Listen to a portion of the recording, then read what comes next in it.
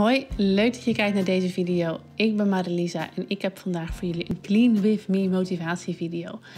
Ik raak ontzettend gemotiveerd van andere mensen hun Clean With Me video's. Om mijn huis te organiseren, om schoon te maken, om aan kant te maken.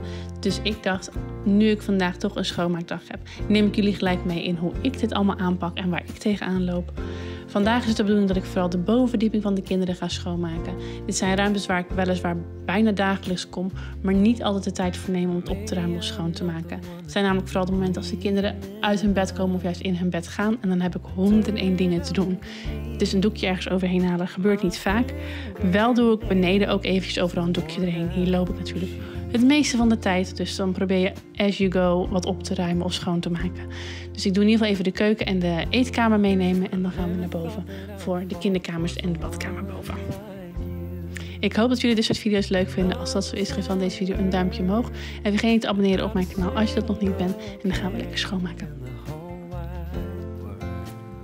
Zoals gezegd begin ik eerst even met de keuken. Ik ging even alles van het ontbijt opruimen en even overal een doekje overheen halen.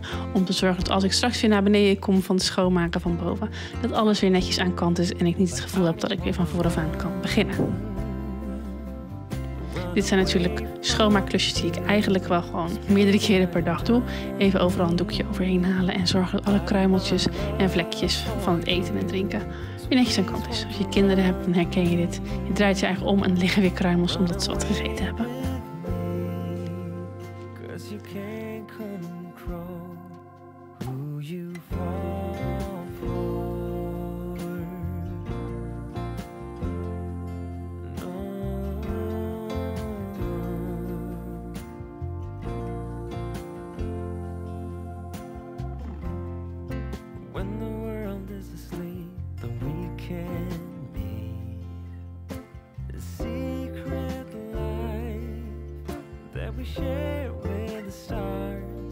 Ik doe ook gelijk de frontjes van de keuken eventjes een beetje spot cleanen en de vaatwasser aanzetten. En zoals je ziet, ziet het er dan alweer gelijk een heel stuk beter uit. De eetkamer is bij ons echt wel zo'n opvangplek waar alle spulletjes op tafel belanden. Zeker op de punt van de tafel. Daar eh, eten we in principe niet, tenzij we met z'n zessen zijn. Dus daar komen alle knutselwerkjes, alle post, alle iPads, telefoons, doosjes, bekers. Eigenlijk alles wordt daar bewaard als we dat even neer willen zetten. En af en toe is het wel handig, in ieder geval zeker een paar keer per dag, om dat eventjes op te ruimen en te zorgen dat we wel weer een opgeruimde tafel hebben. Hebben jullie ook zo'n catch-all plek in het huis waar eigenlijk alles belandt, terwijl het daar niet thuis hoort? Laat me het even weten in de comments.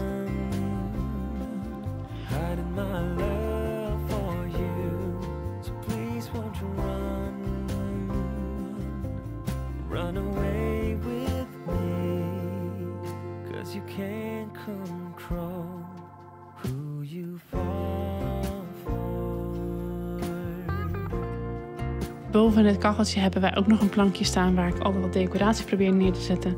Maar ook hier wordt wel eens wat neergelegd. Wat er natuurlijk niet thuis hoort. En zoals je ziet lopen mijn kinderen heel veel naar binnen en naar buiten. Zowel we buiten spelen, maar ze konden niet overal bij. Dus moesten een aantal dingen voor hen klaargezet worden. Maar uiteindelijk is het me toch gelukt om de benedenverdieping helemaal aan kant te krijgen voor ik naar boven ging. Voor de never ending laundry.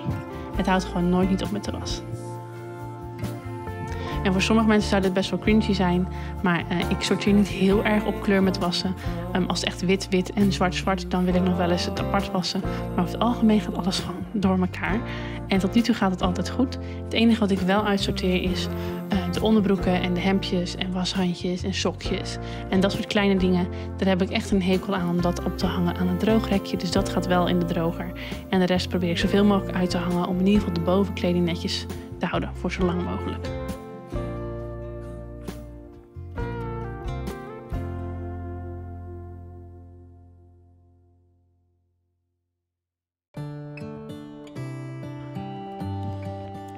Ik doe ze ongeveer één wasje per dag. Um, niet alleen kleding, maar natuurlijk ook handdoeken en beddengoed en zo. Dus um, ja, de wasmachine staat hier eigenlijk bijna altijd wel Hoe is dat met jullie?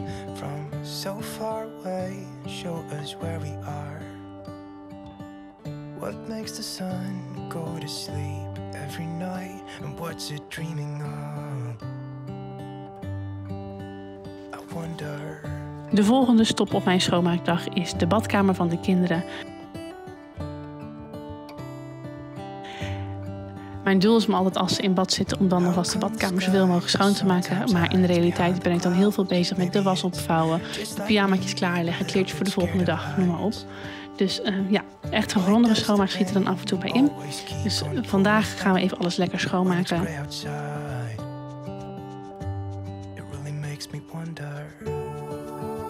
Mijn idee is altijd om alle spulletjes die er los op staan eraf te halen en dan het meubel schoon te maken en dan langzaamaan de spulletjes weer schoon neer te zetten. Ik heb het gevoel dat ik dan het meest systematische doe. En dat het dan uh, in ieder geval zo lang mogelijk schoon blijft.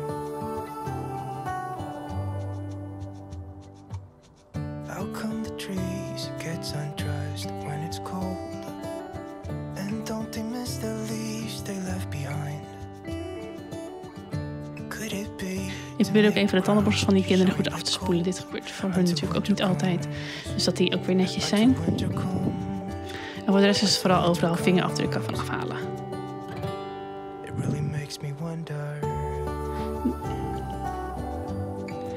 Bij het schoonmaken van het bad kijk ik altijd eventjes naar het uh, ene tasje opvangnetje.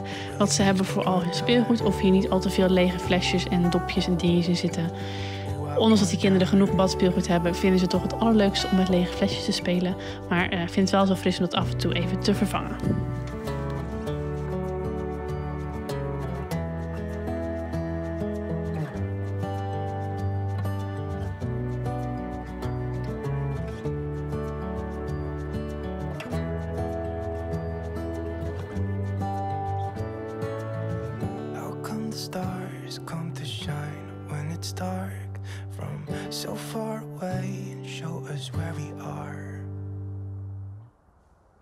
Makes me wonder.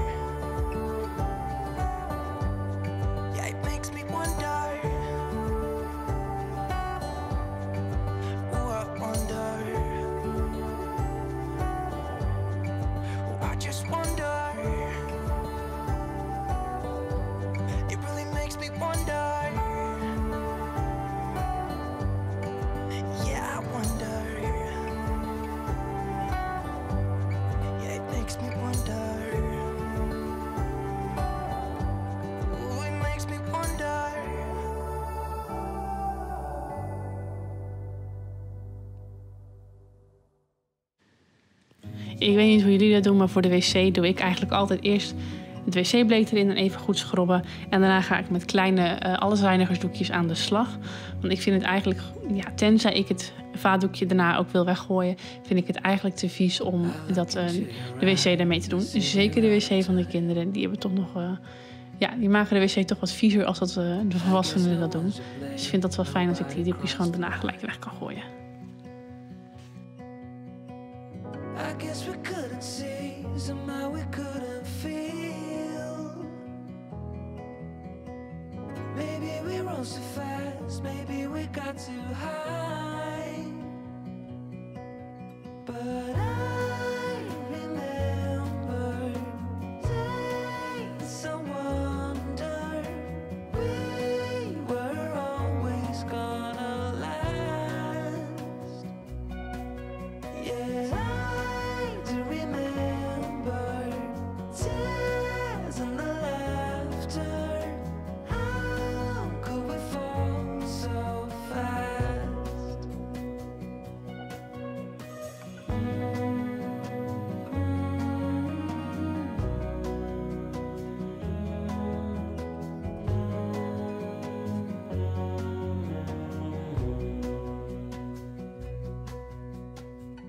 Will be no hard goodbyes, thank God we're civilized. Be on our separate ways as we fade into gray. But I still miss the way, the way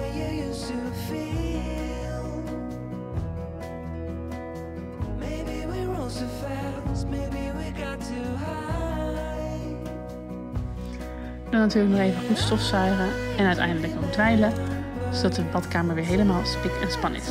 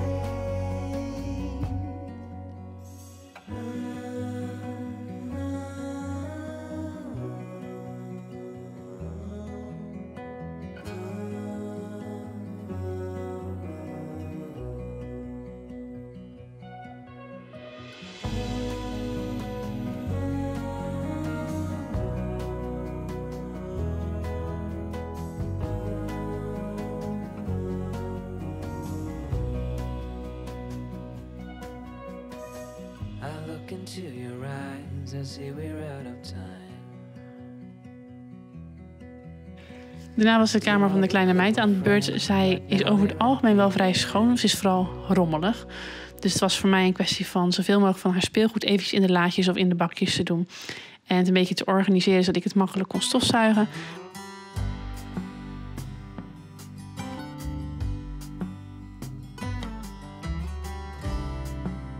Maar dat was het ook wel. Zoals je ziet, heeft ze zelfs al haar bed eh glad gelegd en haar gordijnen open gedaan. Daar hoefde ik haar ook niet meer bij te helpen.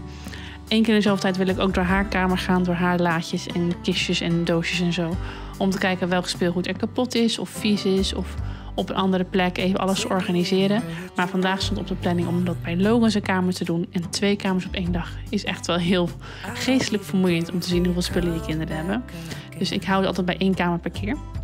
En dan mess ik die helemaal uit en de andere kamer krijgt gewoon een goede schoonmaakbeurt.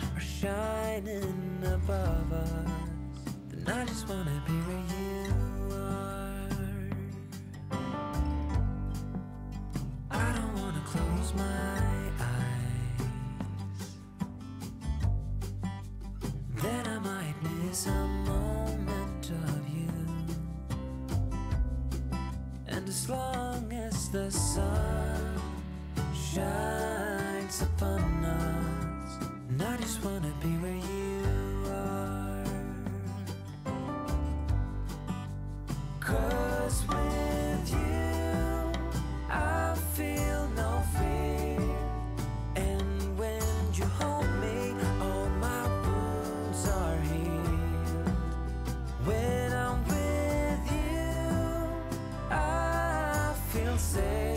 En dan gaan we over naar het grootste struikelpunt van deze schoonmaakdag.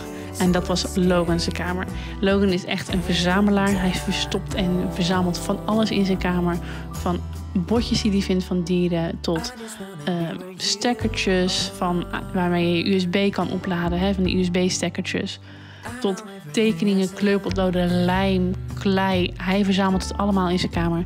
Dus hij had vandaag ook de opdracht van mij gekregen om dat samen met mij op te gaan ruimen. Zoals je ziet is er ook een papier vastgeplakt aan zijn kast. Dat moest hij van mij schoonmaken. En we gaan gewoon eigenlijk door alle bakken en door al zijn speelgoed heen om te kijken wat er allemaal ligt.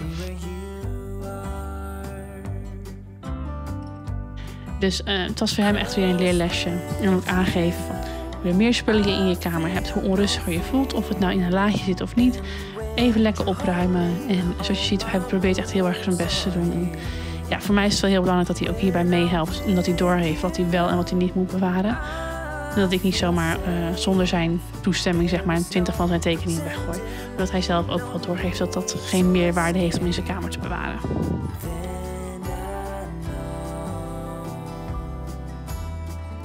Zoals je ziet probeer ik hem ook vooral heel veel instructies te geven over waar hij iets neer kan zetten. Of waarom het niet netjes is hoe hij het nu heeft gedaan. Of wat we kunnen doen om zijn kamertje zo fijn en rustig mogelijk te maken. En hij was daarna ook echt super trots dat hij het zo schoon had. Kijk, hij is ook echt super druk aan het poetsen en aan het doen. Vindt hij helemaal leuk.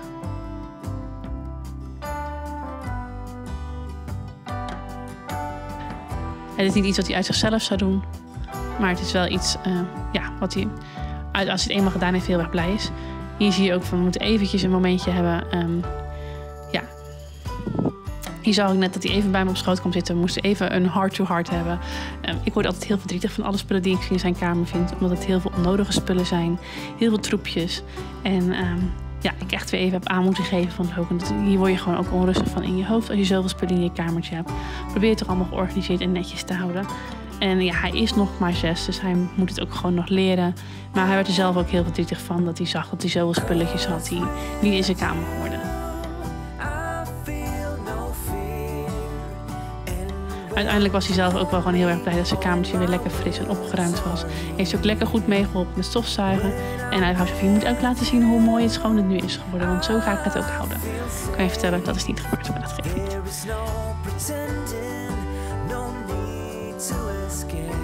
Ik hoop dat jullie wat motivatie deze video gehad hebben om je eigen huis lekker op te ruimen en schoon te maken.